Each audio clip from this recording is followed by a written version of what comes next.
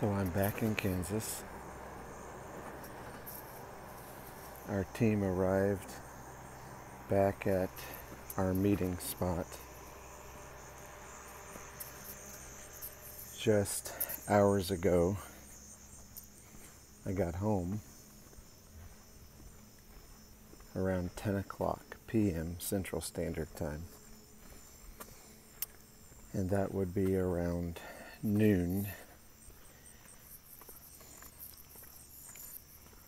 Japan the next day. So that means Friday at home here in Kansas, and then Saturday noon, Japan time. I think I got to bed by midnight as far as sleep after talking with kids, giving them a small gift, taking a shower, going to sleep and I woke up at 3:45 and could not go back to sleep. So I'm going to round that to 4 so that I can do easier math.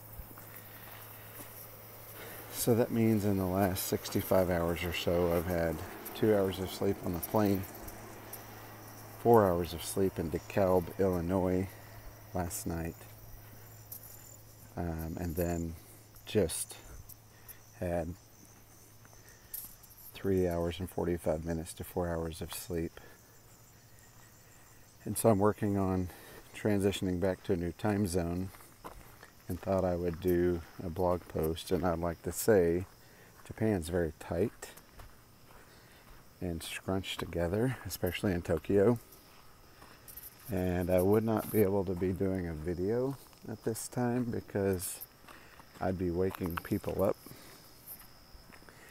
this is the small town Casey's that uh, is in Conway Springs, Kansas, where I live. And no one can hear me as I'm talking on these headphones. So I'm not really waking anybody up. And it's crazy to have this wide open space. And I don't see anyone except for that truck that went by and I haven't seen a truck like that near me in over 17 days. So there's so many things that are different as we reacclimate and readjust here to the United States. So for this morning's blog post, I wanted to share with you that I told our team that I really wanted us to focus on they will know we are Christians by our love. And we focus so much on allowing our doing to come out of our being. And we made extra effort to pause and just remain in Christ, filling up with His love. And we spent a lot of time just being still and knowing God and worshiping God for who He is and who we are in Christ. In that stillness, we were identifying with Christ and becoming more like Christ and making effort to make sure that we found our identity in the right things and that our motives were pure. So, in that stillness, in that quietness, we found that the Japan culture was very supportive of this because of their Shinto and Buddhist background. We had no problem going to a park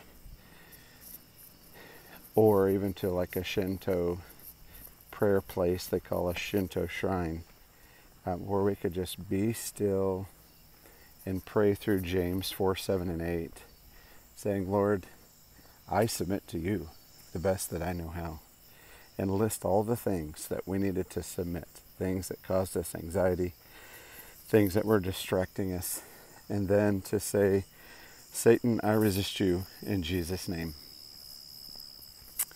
And we were able to pray and thank Jesus for dying on the cross and shedding his blood. Thank Jesus for coming back to life and thanking Jesus even though it's painful for us here on earth, thanking Jesus for going to the right hand of the Father so one could come as an advocate for us to remind us and encourage us and comfort us. So thankful for the Holy Spirit who came and dwells inside of each believer to equip us and to help us become more like Christ each day. And so, as we're focusing on being still, as we're focusing on remaining, as we're focusing on being, we realize the Holy Spirit is a very important, important person of the Trinity and is reminding us of Abba Father, perfect, Daddy, God.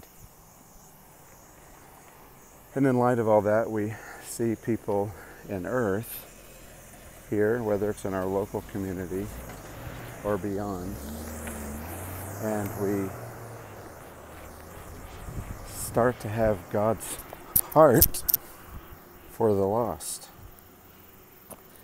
And as we have God's heart for the lost, then we find our heart starting to ache when God's heart aches and celebrate when God's heart celebrates. And that becomes very, very exciting to have God the Father, Son, and Holy Spirit's heart. So our team really focused on not only being still, the remaining, the abiding, allowing doing to come out of being, but really focused on motive, just asking God to help our motives to be like His, focused on high trust and high freedom. We focused on really being sensitive to the Holy Spirit as we sought to serve and encourage the people in Japan to help us reach lost people where they were at to encourage believers and help them to have Christ like character and priorities, and then to really encourage the workers in the harvest field that were tired and worn out, to remind them to pray for more workers to go into the harvest field and to encourage them to do that same be still and know that I am God that we were practicing. And then for the disciple makers, to encourage them to do the same things as far as being still and allowing their doing to come out of their being and not to grow tired or weary in doing good. So here we are, just back into the United States, haven't reacclimated, and uh, I'm going to encourage the team to do the same thing as we scatter and go different ways, to start in different colleges and different jobs. To encourage the team to be still and know God and allow Him to love others through us. And to realize in that passage, God says that He will be exalted amongst the earth. That He says that He will be exalted amongst the nations.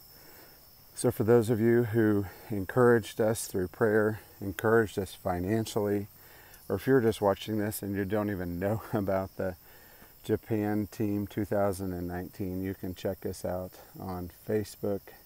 God worked in supernatural ways, and we are so, so thankful for everything that you've done for us. And like I said, if you're watching this and you you weren't a part of the team, we just want to say, join us on the journey of being and knowing Jesus as our identity and helping make him known. God bless you, and you have a wonderful day.